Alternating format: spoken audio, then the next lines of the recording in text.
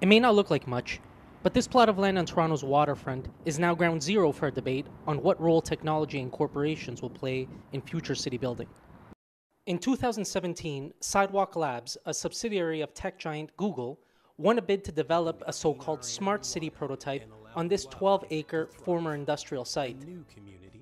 Though Sidewalk Labs declined to comment and would not grant us permission to film inside their Blue Lakeshore facility, here is where they demonstrate what amenities would be enjoyed by the 5,000 would be residents, including streets that heat up to melt ice and snow without salting, and awnings for buildings that would lower and raise temperatures. While no official proposals have been given to Waterfront Toronto, the government agency that awarded the bid, leaked plans published by the Toronto Star have raised interest, but also criticisms. For University of Toronto professor Mariana Valverde, the specter of the private sector building infrastructure is worrisome.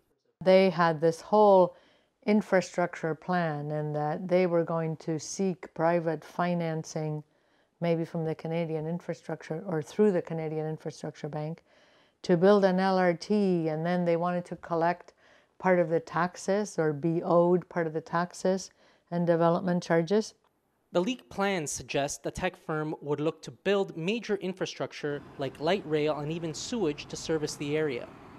The privately built infrastructure would be paid for by Sidewalk, who would then recoup their investment by directly tapping into public revenue streams. This would be unprecedented in Canada, where infrastructure and services like transit are seen by the majority as public domain and almost exclusively controlled and regulated by government. After the leak surfaced in the media, residents formed Block Sidewalk.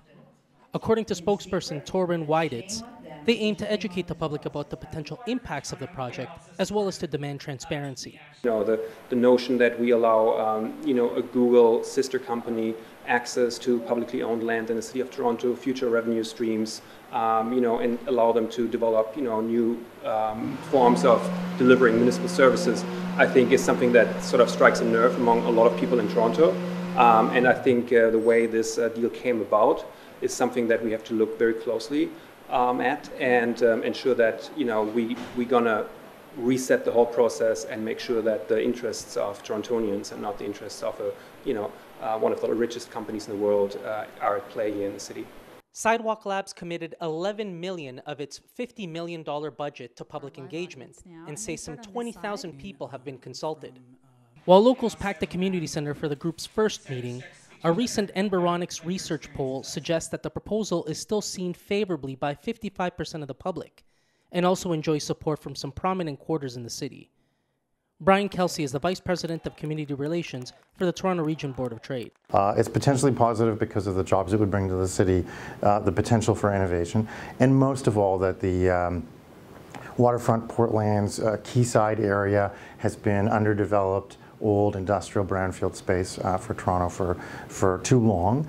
The debate around economic issues, including the pros and cons of private financing of public infrastructure, are bound to heat up after the submission of Sidewalk Labs' official proposal. However, experts and politicians are already deliberating over data collection and privacy concerns. Data collecting sensors and technologies would be set up to track the moves and habits of residents and visitors alike in order for Sidewalk's technologies to function. Given the lack of precedent, there are few rules around what can and can't be done with this information, and perhaps even less understanding of what this could mean for people and their privacy. For us, the biggest concern is around uh, data and data, data privacy.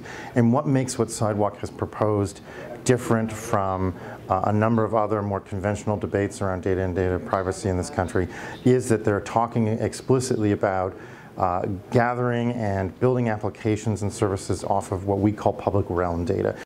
Toronto City Council passed a motion to build a regulatory framework around this sort of data collection and smart cities anticipating other projects like this in the future.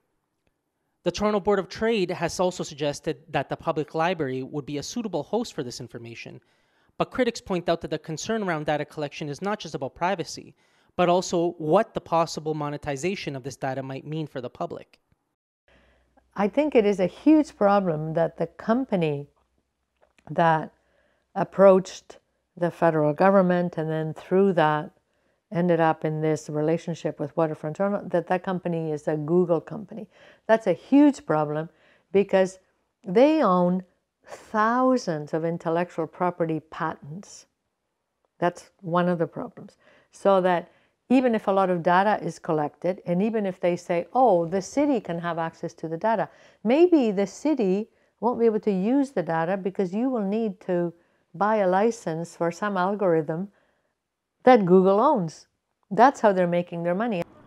The Canadian Civil Liberties Association has now filed a lawsuit against the project and its proponents, citing potential privacy breaches and violations to constitutional rights adding to the dimension of the implications for this project, which involve billions of dollars.